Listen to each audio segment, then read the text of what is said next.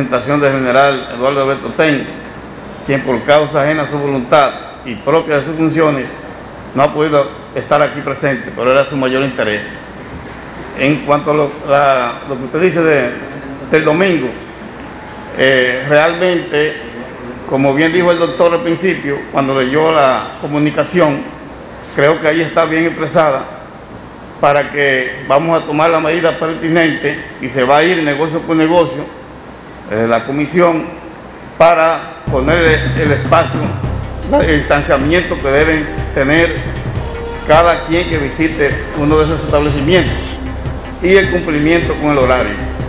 Por otra parte, nosotros creemos que si las personas nos denuncian, nosotros acudimos a tomar las medidas que se requieren, como se hizo con ese negocio. A sus órdenes y estamos dispuestos cada día a dar el 100% para que la pandemia pueda ser eliminada en el mayor tiempo posible. Muchas gracias.